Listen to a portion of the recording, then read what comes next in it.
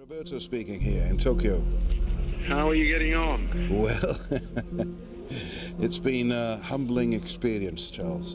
Mielgo had discovered that Mitsubishi were only observers at the Tokyo meeting and were sending new, larger boats out to fish for bluefin. They have pumped up their freezing and transportation capacity by as much as 12,000 tons. Mitsubishi claimed to control less than 40% of the bluefin market and say the increase in capacity was to replace old vessels. But Mielgo believes that Mitsubishi and other traders are building up frozen reserves so they can still make a profit when there are no more fish left to catch.